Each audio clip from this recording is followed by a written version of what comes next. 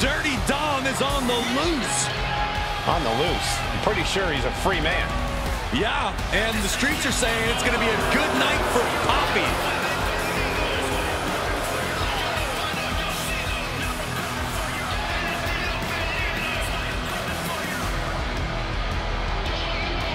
And representing the Judgment Day from San Diego, California, weighing in at 200 pounds, Dirty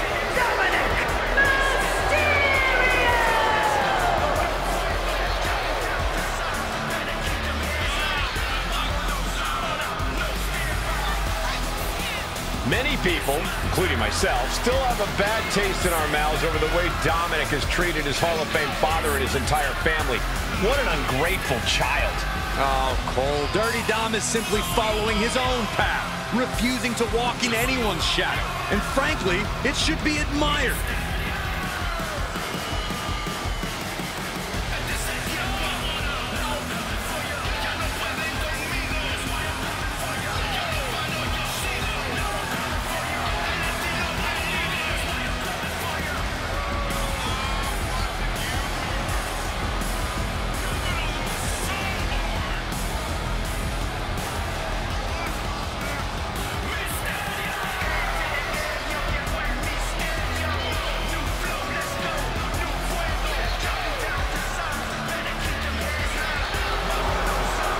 Amazes me about Dominik Mysterio is that he says he has absolutely no regret about his new direction.